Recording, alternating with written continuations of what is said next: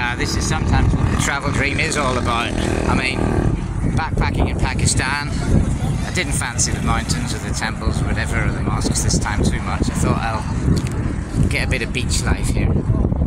Sea view here in Karachi.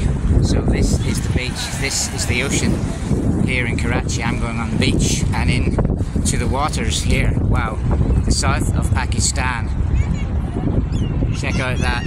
That's amazing. That's a beautiful hot day too.